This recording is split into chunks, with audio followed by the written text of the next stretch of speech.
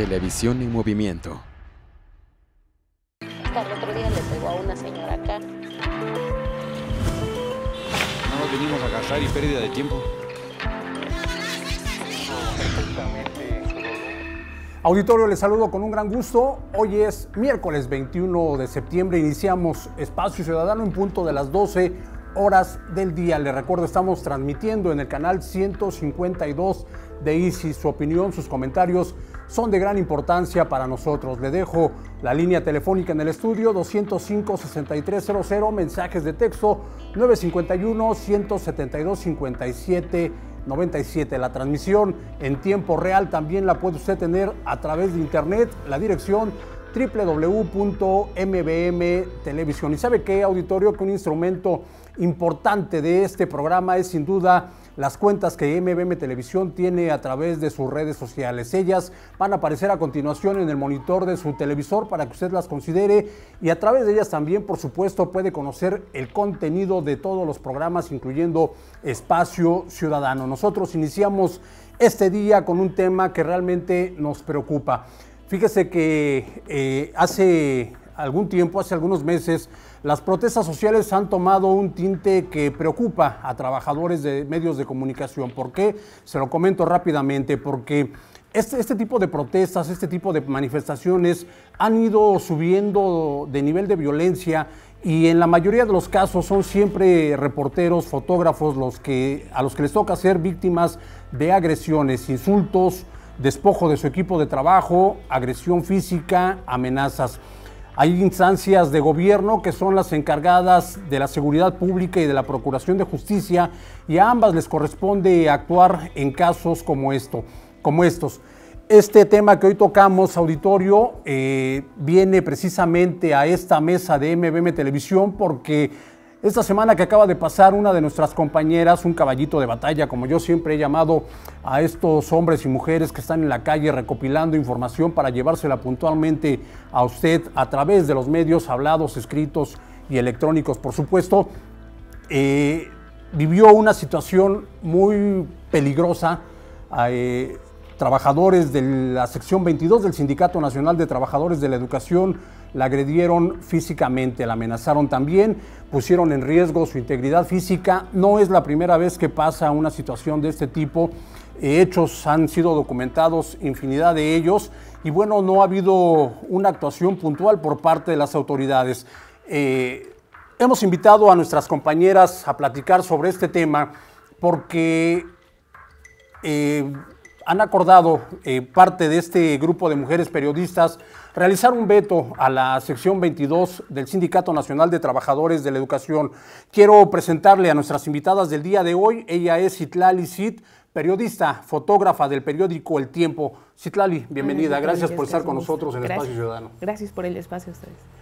Muchas gracias. También está Ixli Xochil Martínez Jiménez, periodista, y a quien también le ha tocado vivir de cerca este tipo de situaciones, eh, situaciones violentas que incluso eh, aún conserva secuelas de ella. Ixli Xochitl, bienvenida, gracias por acompañarnos. Gracias por decirme mi eh, nombre completo, Ixli Xochitl. gracias, Ixli Xochitl. Está con nosotros también Yamile Carranza, periodista, una periodista que usted también ya conoce muy bien. Bienvenida, Yamile.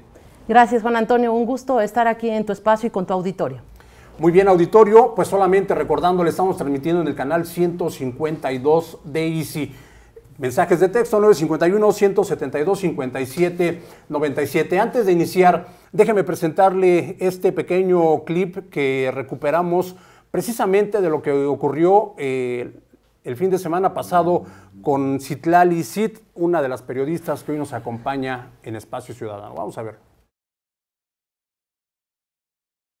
Tú eres la, sí, la, la, sí. culpable de todo. Sí, señora, sí. ¿Sí? Tú eres la culpable. Sí, señora, sí. Tomar una foto igual. Sí. Tómale una foto igual también.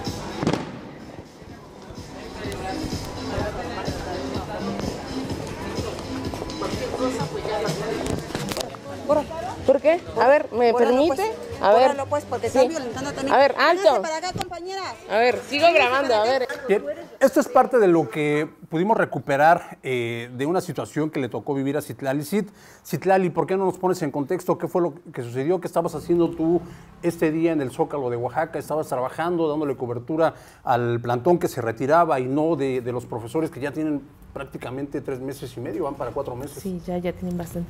Pues estaba realizando mi trabajo, este, estaba yo co- coberturando la reinstalación de los maestros sobre esta calle de la que son desalojados en la noche del 15 de septiembre para que se diera el grito por parte del gobernador y después al día siguiente pues el desfile conmemorativo a las fiestas, ¿no? Este, estaba yo haciendo mis tomas de frente sin realmente este, acercarme ni hacer una toma de cerca porque pues ellos nos han marcado esta, línea. A través de las pláticas que hemos tenido pues nos han dicho no cerca, no rostros, este, no en ciertos momentos en que ellos estén realizando una actividad. Este, en eso, a no más de metro y medio de mí, estas maestras empiezan a decirme que si ya tengo este, el permiso para hacerlo, que con quién lo pedí, que, este, que me van a tomar fotos porque cualquier cosa que pase, pues contra mí van. Yo, pues como escuchan, lo único que digo es sí, maestras y señoras, está bien. Y este, pero en eso, pues esta persona que se para con la sombrilla, pues este, empieza como a querer empujarme hacia la pared. Llega otra maestra que fue más violenta y es a la que yo le digo que se calme, porque pues me quiere jalar el celular, este, entonces yo lo que hago es bajar mi mano y me hace un pequeño empujón para hacerme hacia la pared igual. Este es cuando yo trato de cubrir mi, mi vientre y les digo, este, tranquilas. Porque estás embarazada. Sí, porque tengo siete meses, Siete meses entonces este, hasta ahora venía yo con un embarazo muy tranquilo, entonces lo que menos quería era que, que esta situación llegara más, porque como les comento y como ustedes ven, pues son básicamente mujeres las que me agreden. Este, les digo que se calmen, pero pues bueno, no empieza a gritarle a sus demás compañeros que se acerquen, que las están agrediendo, que las están este, violentando y pues sí me eh, es cuando entro en crisis, empieza mi crisis porque o sea, digo, ¿cómo yo, mujer embarazada, las voy a estar violentando a esas mujeres, a esas cuatro mujeres?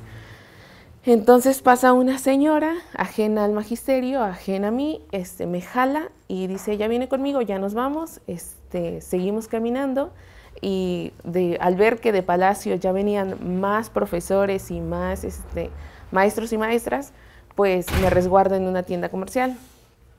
Pero al estar adentro, pues entran las maestras y un, un chico me dice, pues sabes qué, métete más a la tienda.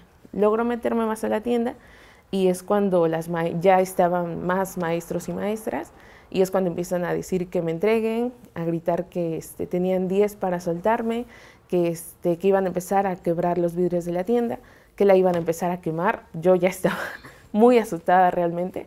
Este, entonces empiezo a, a pedir auxilio de la maestra Isabel García, con la que hemos tenido pláticas sobre estas agresiones que se vienen dando por parte de, algunos, eh, de algunas personas radicales de la, de la 22. Y pues bueno, no me contesta, entonces empiezo a llamar a mis compañeros para que logren auxiliarme. Llegan mis compañeros, llega mi pareja también, por el estado en el que me encuentro, pues es mi obligación avisarle. Y este, ellos este, mm, hacen un diálogo con los maestros para que me dejen salir sin ninguna agresión. Este, pero pues bueno, salgo, no me siguen tomando fotos a mí y a los compañeros que nos encontrábamos en el lugar, diciendo que pues bueno, si algo les pasaba, contra nosotros iban a, a ir. Y este, me hacen borrar mi material, tanto de celular como de mi cámara. Y este, es cuando ya me dejan salir, me, sal, me retiro con, unos, con, los compañeros que llegaron, que les agradezco de verdad mucho que hayan llegado. Y, este, y ya, pues empiezan a gritarme que si estoy embarazada, ¿qué hago trabajando? Que este, si no sé hacer mi trabajo, ¿para qué me acerco? Que ya me encierre mejor en mi casa. O sea, no sé, siento que como mujeres eh, deben de entender que siempre que estás en un, prestando tu servicio laboral en una empresa, pues tu seguro, el seguro que te dan, dice que hasta cierta fecha tienes que estar laborando. Entonces, pues fue básicamente eso, ese el momento que más. Veo que aún te inquieta recordar este episodio tan vergonzoso que, que sucedió, pero que también nos debe de, de- de preocupar a nosotros como trabajadores de medios de comunicación. Ixtli, eh, ¿en qué momento la cobertura de las protestas sociales se vuelve tan peligrosa para los comunicadores, para los reporteros, sobre todo para aquellos a los que yo denomino caballitos de batalla, que son los que están en la calle dando cobertura a este tipo de eventos? ¿En qué momento eh, se rompe o se traspasa esa pequeña línea de, seguridad y se vuelve una actividad sumamente riesgosa?